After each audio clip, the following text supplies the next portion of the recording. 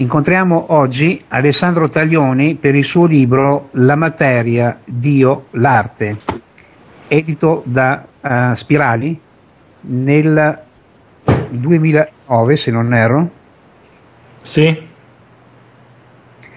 Ecco la copertina. Sì, ce l'ho anch'io, guarda. Facciamo vedere. Bene. ok. Allora, leggo appena per introduzione la quarta uh, di copertina. In questo libro vengono riportate note di lettura in merito al testo dell'arte, con esempi del Rinascimento e della modernità in Italia, in Grecia, in Francia e negli Stati Uniti.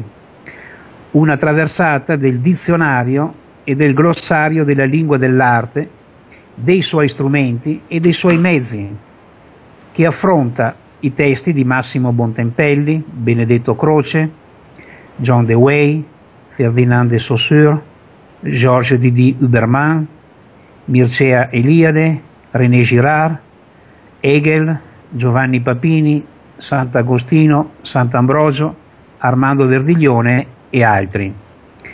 Si tratta anche dei luoghi comuni, delle dottrine, delle ideologie e delle profezie che ciascuno degli autori, filosofo, linguista, logico, teologo, annota con effetti nei decenni e nei secoli successivi quanto all'avvenire dell'arte e della cultura. Io ho avuto la fortuna di leggere due volte questo libro e lo leggerò ancora.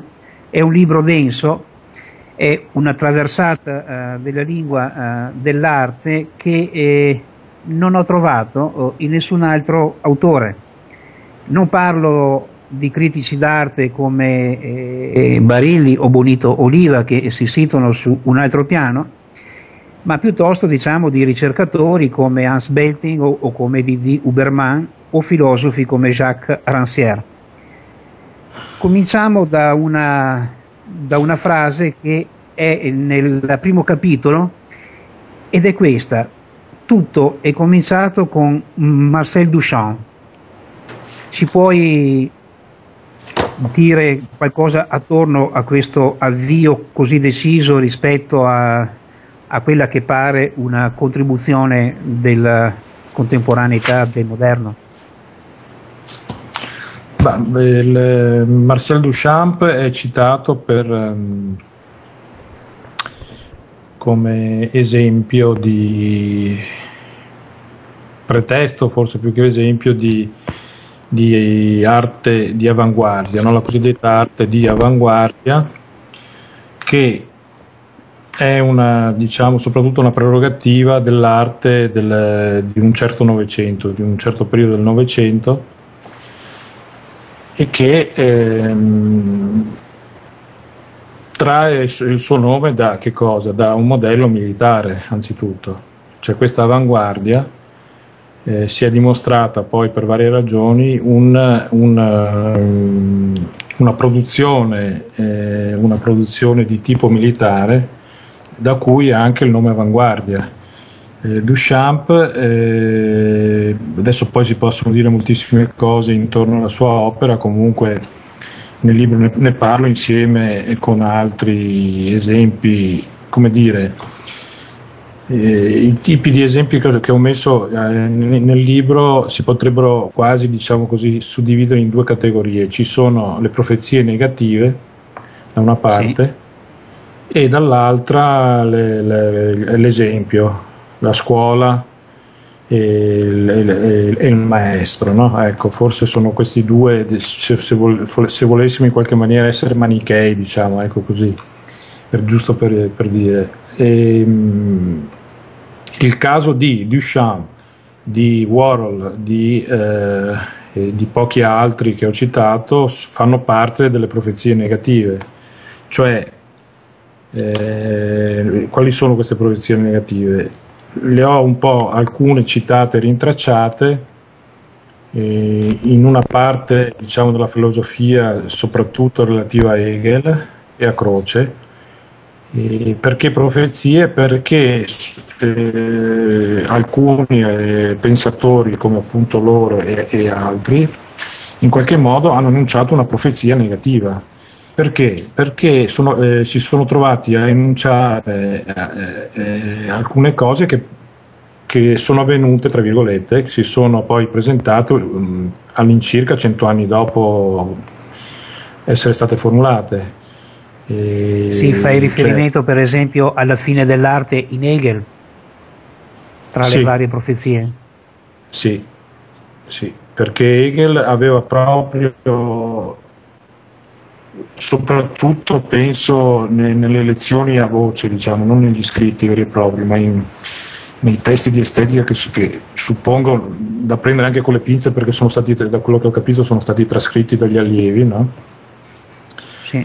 Enunciava proprio questa idea assolutamente nuova per, per l'epoca, in, eh, per cui l'arte era soprattutto qualcosa che doveva eh, sorgere da un viaggio interiore. No? Questo viaggio interiore bisognava entrare dentro se stessi e quindi alla fine eh, l'artista era qualcosa che faceva, era il traghettatore di, di qualche che, che, doveva essere preso all'interno di sé e portato al di fuori di sé. No? Era una, un viaggio, però tra virgolette, era un viaggio tra virgolette tutto spirituale, tutto eh, interno.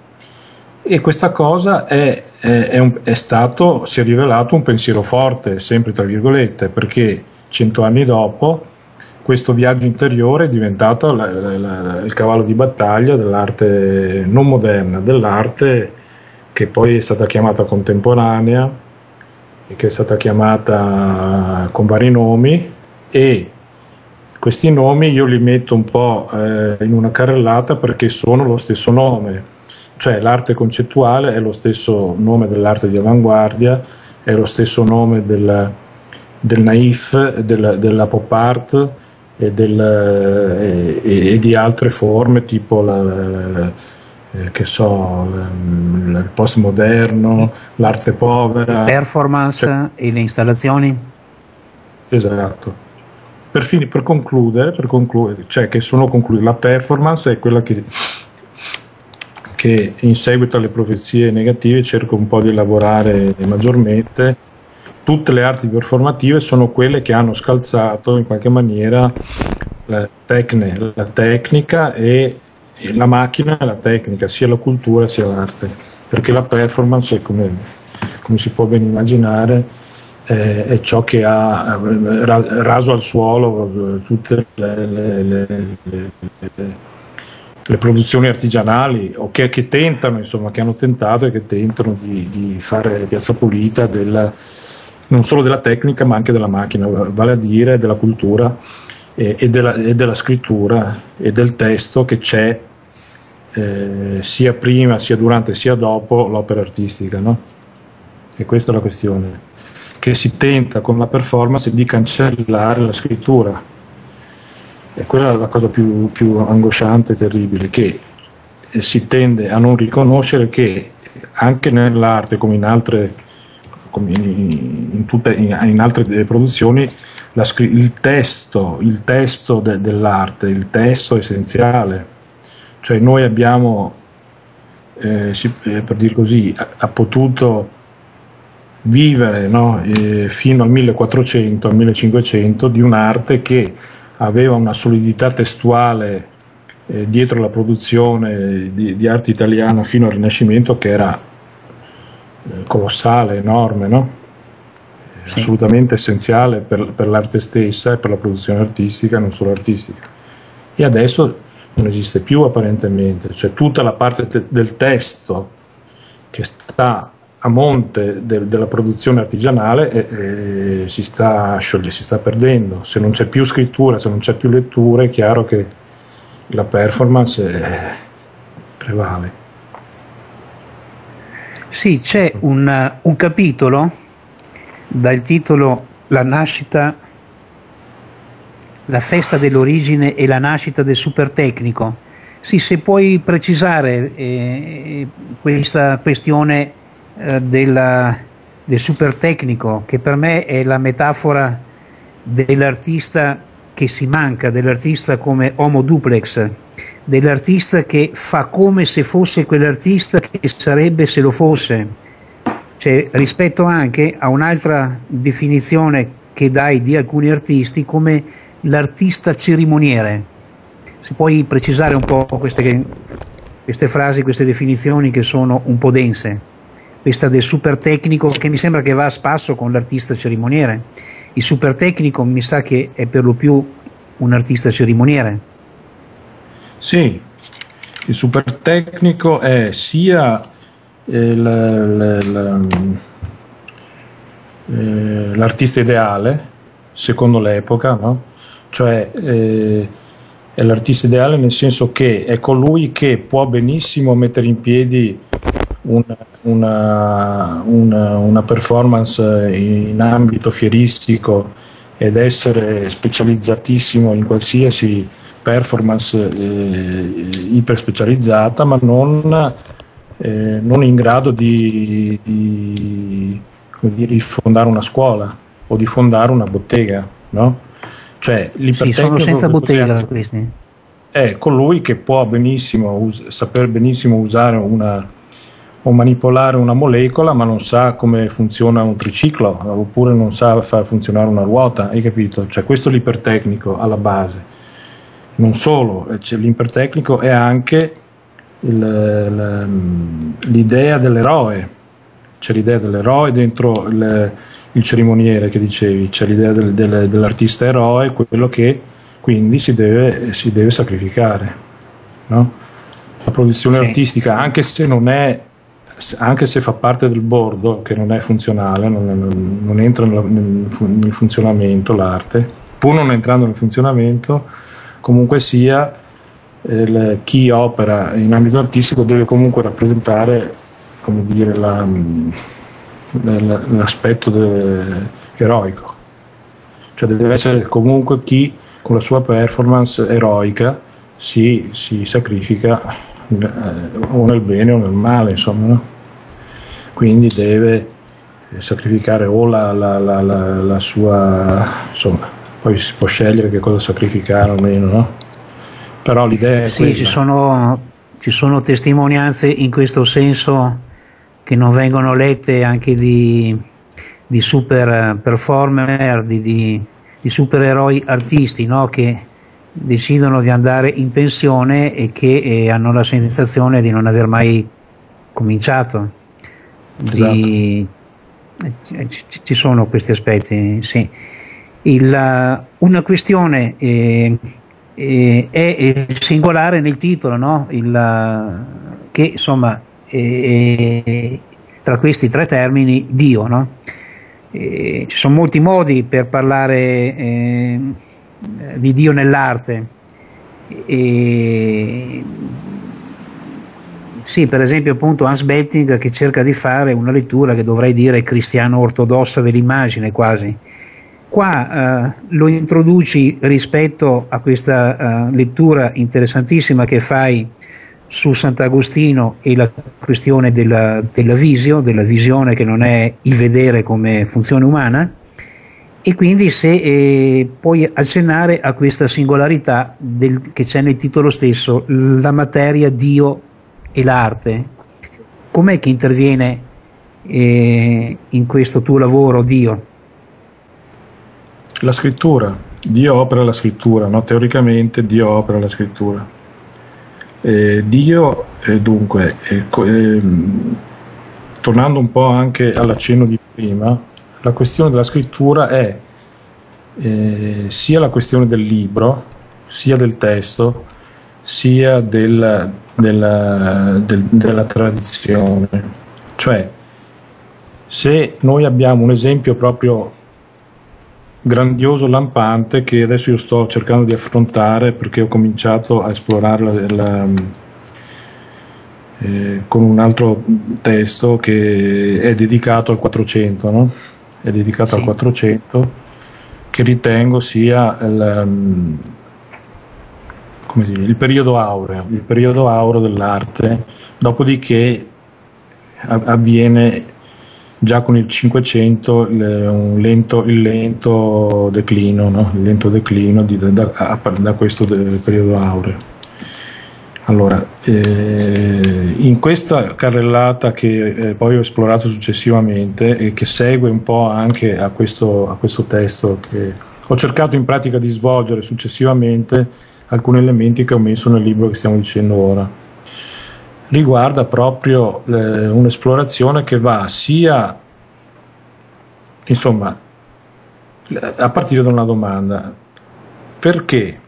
Perché? O, o come, come è avvenuto che, perché proprio nel 400 e non solo nel 400, anche nel 300, nel 400 e un po' e, e parzialmente nel 500 abbiamo la perfezione, tra virgolette, nell'arte. Perché c'è una, una, una questione cattolica alla base, c'è una questione cattolica che è stata elaborata attraverso scritture no, di vario tipo che hanno man mano portato a qualche cosa che è, una, è, è assolutamente straordinario. Questo, questa questione del, del cattolica eh, cioè non è la religione, non è nel senso della religione? No, non nel senso della religione, è proprio sì, il, testo, chiaro, no, sì. il testo, la scrittura. Il testo. Eh, eh, lo sto dicendo questa cosa in totale assenza di credenza, di, di praticantato, no? Sì. Però io da, da, lettore d'arte, perché questa cosa parte soprattutto da, un, da una costante e infinita lettura di opere eh, di quell'epoca, mi sono trovato a non poter, a non poter che constatare quest, questa cosa eh, importantissima no? che, che, è avvenuta e che, e che a partire da questioni teologiche, da questioni di scrittura a partire da Dio, a partire da, da Cristo, no? E quindi e, è un po' questo il testo che bisogna esplorare attraverso i padri della Chiesa, il, il testo biblico, le, le, le, testimonianze anche di scrittura di immagini che ci sono state, no? La questione del cerimoniere, per esempio, che hai detto prima, il cerimoniere sì. esisteva in quell'epoca, ma non è quello che intendiamo adesso, no? Quello che Chiaro. intendiamo adesso in, in modo neg- nella profezia, all'interno della profezia negativa, è per dire la rockstar, ecco, no? quello è il, il cerimoniere esatto, dell'epoca. Nel 400 il cerimoniere era quello che organizzava lo, le, le, la PS teatrale relativa a, agli episodi biblici, no? era, si chiamava cerimoniere per dire, ed era quello che organizzava era un po' l'angelo, ecco, c'era un angelo nell'ambito teatrale che gestiva le, le, la, la, la PS, no? non andava da solo la PS, c'era un cerimoniere che lo faceva, un burattinaio, diciamo così, tra virgolette. Sì. Gestivano anche i pranzi e, e, le cucine nelle grandi occasioni, è vero? Ecco, mm. vedi. Mm. E, e, e, quindi quando noi andiamo a vedere un'opera di Piero della Francesca, per esempio, capiamo che c'era una lezione matematica, perché lui era interessato alla matematica, capiamo che c'era una lezione teologica, perché tutte le scritture ed immagini del 400 erano a partire da sermoni, o erano a partire da sermoni, o erano a partire da, dai codici miniati, quindi da libri, no? quindi c'era una, una, una tradizione orale da una parte e una tradizione testuale dall'altra. In base a queste scritture avveniva poi una terza scrittura che era quella de, di Piero eh, piuttosto che di, di altri. No? Quindi ci sono scritture, sono scritture queste, importantissime, sono testi, hai capito? E questa è la questione sì. che bisogna ri, ri, riaffermare e, e, e, e riportare, insomma. Cioè il messaggio deve essere proprio forte in questo senso, perché altrimenti appunto ci troviamo nella, nel naturalismo. No? Adesso che sia è discutibile se uno dice ah ma io non credo, non è, non è quella la questione, la questione è proprio il testo. Il testo. Sì. Una, una questione ancora, il, nella postilla eh, scrivi essenziali per acquisire i criteri di lettura gli scritti di Armando Verdiglione. In particolare si tratta qui di alcuni testi degli anni 70. Ora, il, io stesso ho questi criteri di lettura in gran parte eh, li ho acquisiti in questa, in questa modalità no? della, della, formazione e della lettura dei testi di Armando Verdiglione e, e voilà, ti pregherei di dirne qualcosa in questa occasione. I testi del professore? Sì. Dunque, le, le, l'elaborazione che io ho cercato di svolgere e, e, e diciamo parzialmente eh, cerco ancora di, di, di, portare avanti è chiaramente la lettura di, un, di un'impostazione teorica e, e, di scrittura che si avvale su, del suo insegnamento. Si avvale, eh, io se dovessi, eh, non so, non dico oggi, né domani né dopodomani, scrivere un testo di, di diciamo così, tra virgolette, scientifico intorno alla scienza della parola, alla psicanalisi no? e alla cifrematica, sì. eh, so, so eh, sono eh, assolutamente sicuro che devo leggere quantomeno Freud, poi devo leggere Lacan e poi devo leggere Verdiglione. Non necessariamente in questo ordine, no? In nessun sì, ordine. Sì, non è ordinale la cosa. Però è cardinale. La questione de, dunque, in, in, nel caso di questo libro, che si sia trattato di test o la sembianza, è, è, perché eh, diciamo non, non, c'era una ragione proprio specifica in quel caso, però eh, ho trovato essenziale intanto l'elaborazione intorno alla sembianza, perché fu la prima e quella da lui ritenuta anche una delle più importanti a lui stesso. E, ehm, sì, sulla dimensione delle immagini, sì. Eh, sulla sembianza, sì. Tutto il, il, testo La sembianza è dedicato naturalmente non solo alla sembianza, è, è già una base insomma, cui, da cui penso poi eh, sono sorte anche altre elaborazioni. Ecco.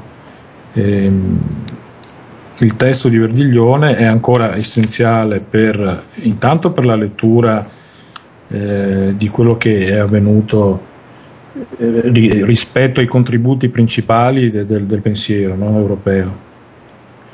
Cioè, sì.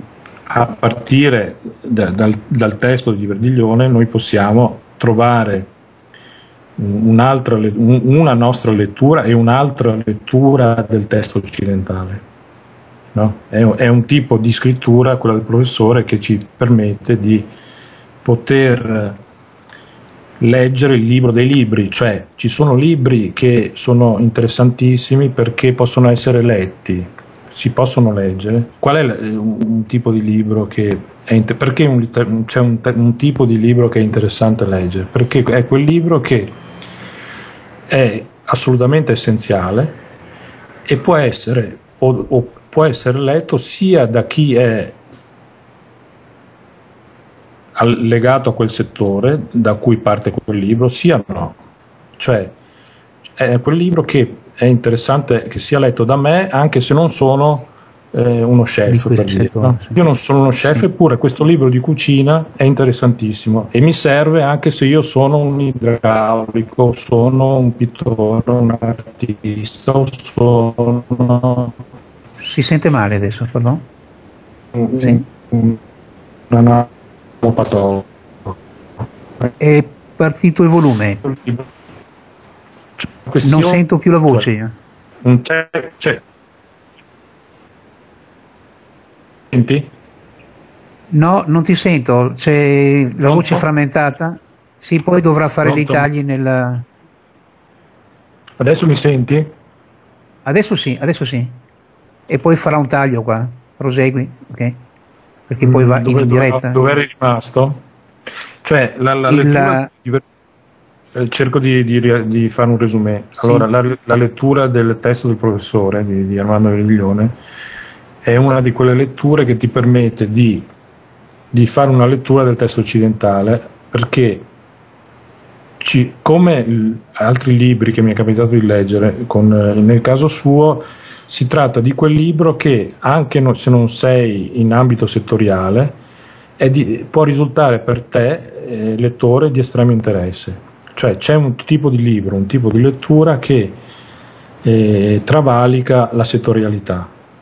travalica l'interesse specifico. Eppure util- può essere utilissimo, può essere uno strumento utilissimo perché, come mi è capitato anche per libri eh, che vanno in altri ambiti, artistico, teologico, filosofico, ci sono certi tipi di scrittori filosofici, certe tipologie di scrittori di, di settoriali che intendono la scrittura intellettuale, intendono l'intellettualità, per cui risultano di estremo interesse per te al di là del settore in cui operi. Ecco, questa è la questione. Naturalmente Verdiglio, il testo di Verdiglione va oltre questo, perché ci sono anche moltissimi altri aspetti, no? Sì, no, eh, noi ne parliamo rispetto a questo oh, di oggi. Sì, noi siamo in conclusione e vorrei leggere una, una, un brano che, è, che, che, sembra proprio fatto apposta rispetto a quello che hai appena detto, ovvero che... È, e la questione di cui abbiamo oh, parlato, di cui stiamo parlando e di cui proseguiamo a parlare, la questione dell'arte non è una questione che riguardi esclusivamente chi ha un interesse per l'arte e chi si ritiene artista o critico o a varie ragioni abbia a che fare con questo, a un livello molto più importante e alto è quel brano. Non c'è filosofo, linguista, matematico, che prescinda da una esplorazione del discorso sull'arte, raramente arrivando alla testimonianza, cioè raramente arrivando a un'arte della scrittura e della lettura. È molto bello e mi pare proprio che vada in questo senso, cioè che eh, il filosofo, cioè coloro che sono tecnici appunto nel loro settore, il filosofo, il teologo, il fisico, il musicista, non hanno solo da confrontarsi con, eh, con il loro specifico, con la loro arte, ma eh, hanno da leggere il, eh, altri testi. Ecco, io penso certo. che eh, questo libro, oh, che è denso, molto importante per me, eh, come provocazione io lo, lo lo propongo a coloro che hanno oh, letture specifiche come per l'appunto che ne so, i filosofi logici, i teologi, a maggior ragione visto che c'è anche Dio nel titolo. Il, uh, c'erano evidentemente molte altre questioni e, e, e ci diamo appuntamento per qualche altra conversazione, Alessandro. Che, certo. cosa, che cosa dici? Se c'è l'occasione attorno a questioni specifiche nelle letture e nell'esperienza. Io certo, certo. ti ringrazio e a te, a te, la voce se c'hai qualcosa ancora da accennare in questa... Ma guarda, il, il, il, ci sarebbero tantissime cose da, da, dire, solo che è un po' un... Um, il tempo poi vola. Comunque...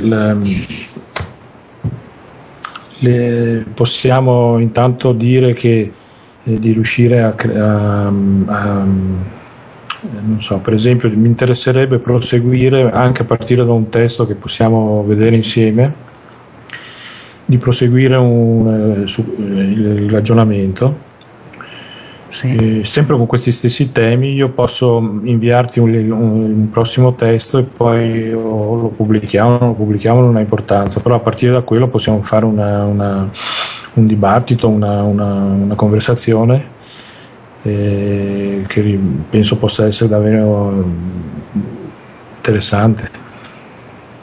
D'accordo, sì, io ho letto recentemente questo libro di Jacques Rancière, ma non ho tratto così tanti argomenti per interloquire con te, ma eh, mm. ho, altri, ho, ho, altri, libri.